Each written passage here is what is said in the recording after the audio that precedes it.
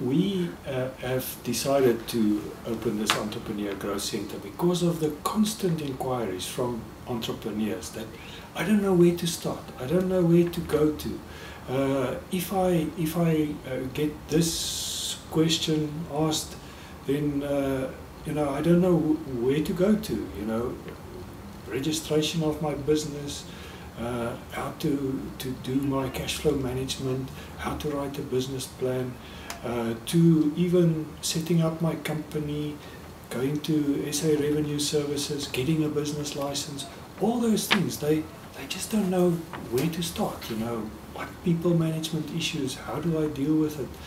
Uh, and we thought, okay, let's, let's put an entrepreneurship growth center together and, uh, and then we need to, to give them something before the funding, something before they uh, set up their business in a premises. Uh, what other ingredients do they need? And uh, we've done a survey, an extensive survey amongst existing entrepreneurs and entrepreneurs to be.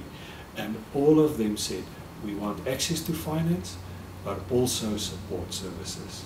And uh, this is basically the support services part that, that we're bringing closer. And it's uh, the structure in your business and the business plan that you have and that you can work according to that. And that business plan is not for the banker, uh, for your personal bank or your bank. It is for you and it must work for you. So rather do it properly in the beginning and have the right uh, resource to, to put it together.